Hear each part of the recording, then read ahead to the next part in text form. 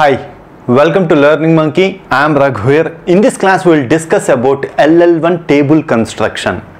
So LL1 is a predictive parsing technique using non-recursive method. In our previous class, we clearly discussed about predictive parsing method uh, using recursive method. There we already discussed about uh, the disadvantage that we are going to face with the recursion method. In order to eliminate those disadvantages, we are using table method here. LL1 is a table method. Please watch our previous class and come back here. The link for the playlist is provided in the description below. Coming to today's class, here in this class we will understand how to construct the table in our next classes uh, we are going to understand how the given input string will be accepted using this uh, ll1 parsing table and uh, what are the disadvantage what are the failure situations in ll1 grammar. All those things will be discussed in our next class Uh, coming to this uh, ll1 ta- ll1 table construction. This is a top down predictive parsing using table method it is a top down approach. Means it is going to start from the starting input grammar symbol means starting non terminal symbol and it is going to construct in a top down approach. From there it is going to construct. That is how this uh, ll1 grammar works. To avoid recursion we are using table. Now coming to understand what's this ll1 means L first L stands for scanning input from left to right. We are scanning input from left to right. Second L stands for producing leftmost derivation. So leftmost we are producing the leftmost derivation for the given grammar. So that's why in the top down approach. That is what happening here. It is going to produce a leftmost derivation for the given input string. One stands for looking ahead one input symbol in our previous class also the predictive parsing technique is using recursion also taking one input symbol look ahead. So here also ll1 is going for the one look ahead input symbol so based on the assumption that you already know what's look ahead symbol, all those discussions were made in previously in our previous classes. Now coming to the table construction, let's try to understand step by step uh, how to do the table construction for a given uh, given grammar. This is the grammar which we are considering uh, and in our last classes we already discussed about this grammar. This is a grammar for identifying the mathematical expressions contains plus and star symbol that solves the predictive uh, precedence and uh, associative conditions. So for this grammar we are going to find the first and follow. How to how to find the first and follow symbols?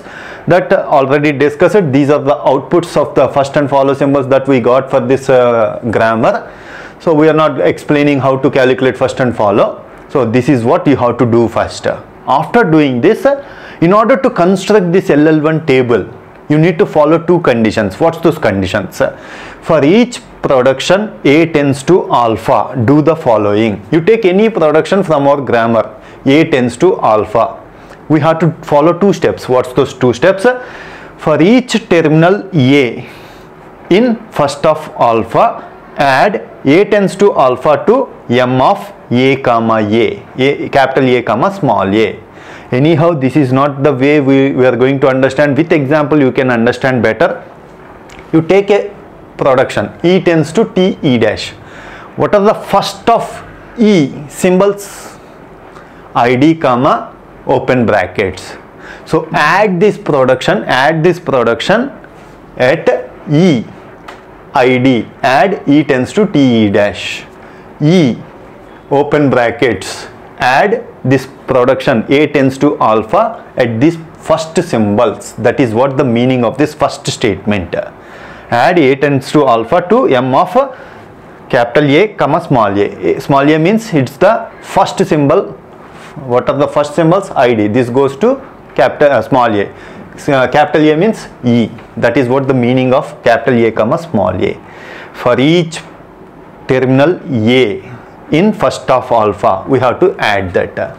So E tends to T E dash. What's the first of E? Id comma open brackets. In place of id in place of open brackets we have to add this production. That is what we have to do. That is the first statement. Coming to the second statement if epsilon is in first of alpha if epsilon is there in first of alpha add a tends to epsilon to all the follow symbols the production A tends to epsilon should be added to all the follow symbols. So the, uh, we'll understand with an example.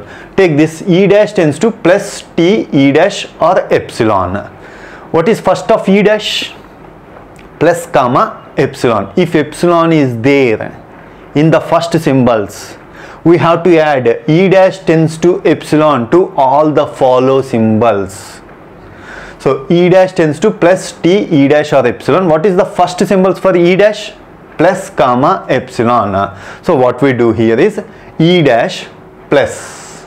Here we have to add E dash tends to plus T E dash. This is what the first statement says. For all the first symbols we have to add this production E dash tends to plus T E dash. What is the first symbol? Plus. E dash tends to epsilon should be added to all the follow symbols. What are follow symbols? Dollar comma open bracket. So that's why E dash tends to epsilon. E dash tends to epsilon is added to open bracket, a closed bracket comma dollar. This is how we add. Now coming to the T dash, T tends to F T dash. What is first of T? ID comma open bracket there is no epsilon only first uh, first condition says uh, wherever there is id comma id you have to add this production. In place of open brackets add this production. So id t.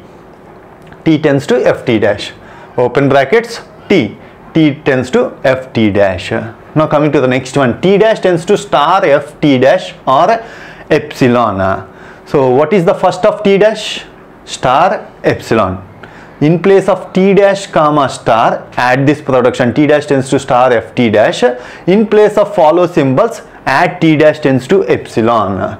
So t dash star. Add this t dash tends to star ft dash in place of epsilon in place of follow symbols what are the follow symbols? Plus closed bracket dollar. Add the production t dash tends to epsilon. T dash plus. T dash tends to epsilon. T dash closed bracket t dash tends to epsilon. T dash dollar symbol t dash tends to epsilon. So this is how we add the productions. Next coming to the and the last one this is important to understand. Everyone will make mistakes here.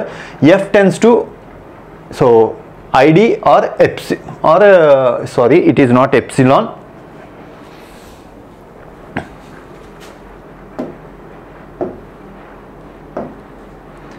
It is a uh, closed bracket E it is not epsilon. This is what the production is. We made a mistake here. So first of F what is first of F? Id comma open bracket. Here we are having two production. F tends to id is one production. F tends to open bracket E closed bracket. This is another production. So we got the first symbols of the what are the first symbols for f? Id how we got this id from which production we got this id f tends to id so in place of f id we will add the production f tends to id how we got this open bracket symbol? F tends to open brackets e closed bracket. Because of this production we got a first symbol open bracket for f that's why this production should be added at open bracket f open bracket f tends to open bracket e closed bracket. This production should be added at open bracket. This is how we have to add the symbols. This is how we construct the LL1 table. In our next classes, we are going to discuss how we use this table in, in order to elaborate the given expression. Acceptance of that expression, how we do that that we are going to discuss in our next uh, class. Hope you understand the concept. If you have any questions regarding the concept please post your questions in the comment section below. Thanks for watching. If you haven't subscribed to our channel please subscribe to our channel and press bell icon for the latest updates. Thank you